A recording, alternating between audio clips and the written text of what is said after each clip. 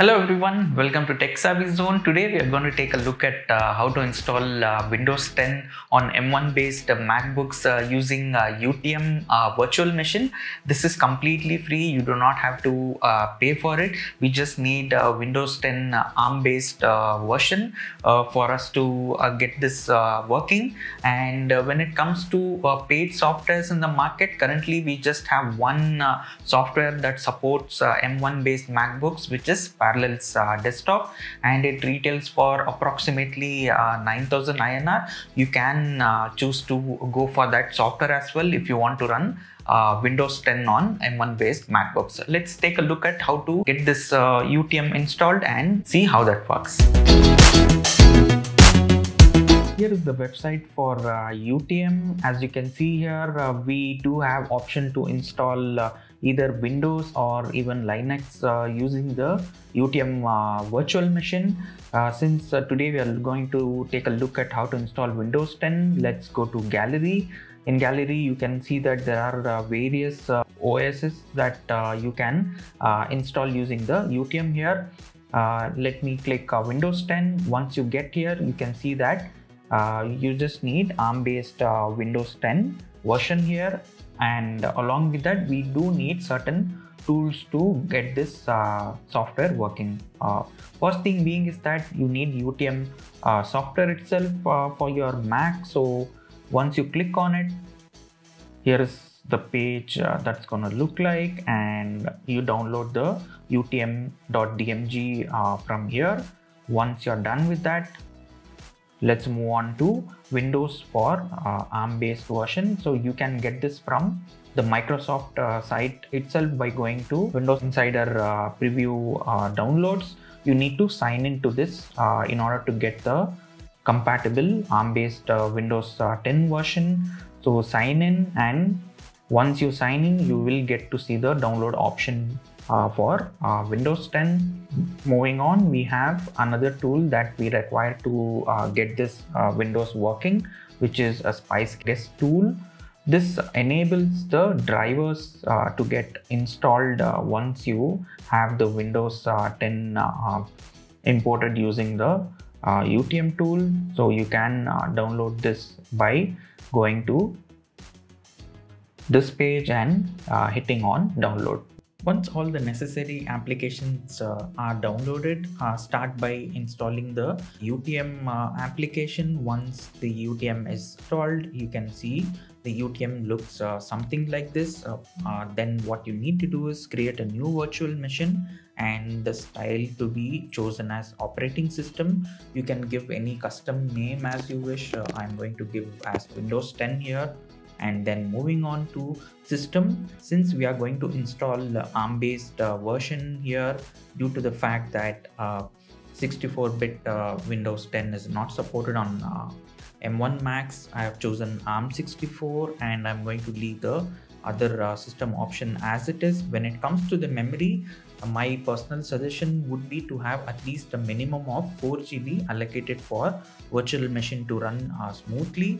If you have a 16 GB uh, model of uh, M1 MacBooks, it's well and good. Uh, you can dedicate uh, 8 GB of memory. So I'm going to do that since I have a 16 GB model. In case you have 8 GB uh, M1 MacBook, you can allocate 4 GB accordingly. So let me choose this to 8 GB right now and then moving on to drives. So you need to import the downloaded uh, Windows 10 ARM based version here. Before you import uh, we need to make a slight change to the format of the file that you have downloaded from Microsoft uh, site. Initially when you download the Windows uh, 10 you would uh, get to see so this is the normal version that you would uh, get and the format would be VHDX. However, UTM suggests that there are uh, sometimes chances that your Windows might be corrupted uh, even if you happen to follow the steps correctly. Hence, UTM recommends having the image uh, changed from VHDX to QCOW2. In order to do that, what you need to do is go to terminal okay. Once you are in the terminal you need to install application called as brew. So you can do so by just copying from the utm site and paste it here.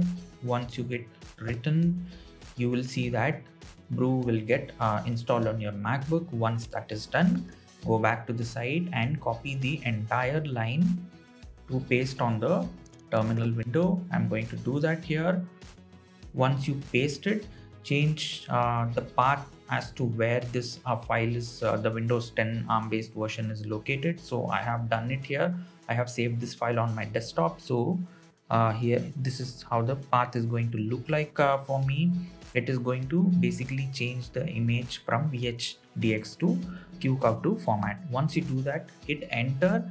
As soon as you hit enter what will happen is vhdx will get converted to QCOW2 now I have the QCOW2 version uh, converted already all I need to do is I need to import this here so I'm going to navigate and import the QCOW2 here and the interface will be NVMe. Please ensure to do this. Once you're done with this, you also need to create one more drive which is a removable drive in order to get the spice tool installed once you uh, enter the windows 10 so create one more drive and the interface is usb moving on to other options uh, leave everything as it is. You do not need to change anything else as of now.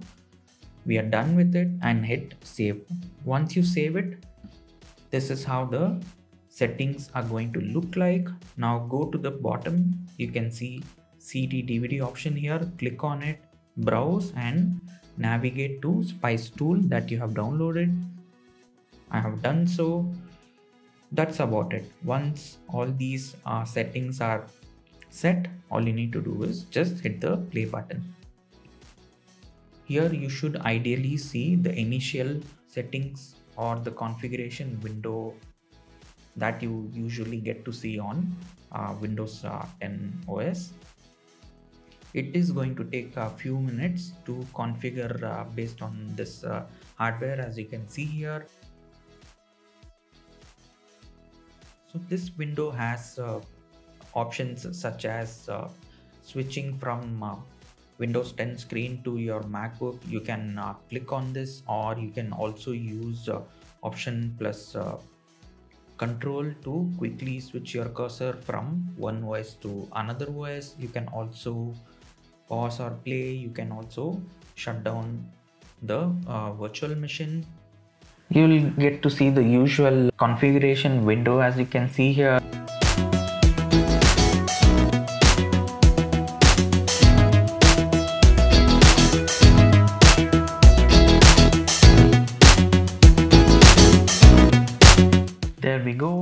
Windows 10 uh, installed on the M1 MacBook. All we need to do is uh, we need to get the Spice tool installed right now. We can do that by going to uh, PC and we have the CD drive. Just install this. Once this is done, you should be able to configure display and you can change the uh, resolution as well. There you go. This has been installed here. One more step that we need to follow is we need to give access for windows to navigate to internal memory internal storage. Uh, right now we just have an allocated uh, storage for windows 10 however if you want to copy files from your mac to windows we need to give access so in order to do that shut down this virtual machine once that is done, go to UTM, edit and go to sharing and enable directory sharing. In case if you have not allowed uh, file sharing uh, on your MacBook settings, please do so by going to system preferences, sharing and enable file sharing. Once you uh, check this, go to options and ensure that this option is checked as well, share files and folders using SMB and choose your account as well. I have done this in order for Windows to gain access to my MacBook uh, storage. Once we are inside the Windows 10 again, go to display options and choose your display as show only on one it's done go to my pc and you can see that you should have access to the storage.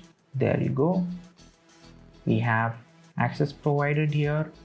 You can quickly copy files from your macbook to windows. When it comes to the performance yes right now there are few bugs. The cursor may not uh, function as accurately at times for a normal uh, everyday uh, usage uh, such as browsing i did not find any issues you can get 64 or 32 bit uh, version Windows compatible uh, softwares uh, installed using this UTM as well. I did not face any issues. Software such as Office 365 will will run no issues whatsoever. We'll quickly try playing a video from my channel. Let's see how the streaming quality is.